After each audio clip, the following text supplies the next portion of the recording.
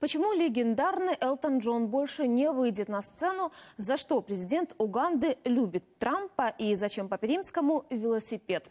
Об этом и не только в нашем обзоре.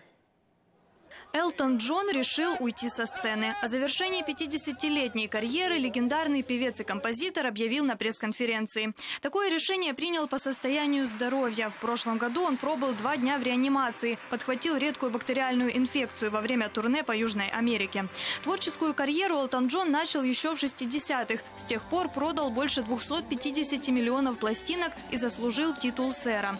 Элтон Джон является одним из величайших исполнителей по версии журнала Rolling Stone. Стоун. Президент Уганды признался в любви к Дональду Трампу. Больше всего ценит прямолинейность американского лидера, мол, он говорит с африканцами на чистоту и призывает разбираться с проблемами.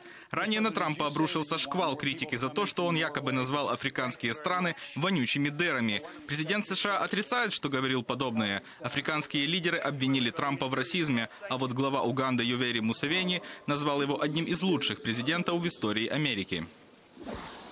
Словацкий велогонщик Петер Саган подарил папе римскому велосипед. Он бело-желтый, как цвета государственного флага Ватикана. Также на велосипеде изображен аргентинский флаг родины папы Франциска и выгравировано имя понтифика.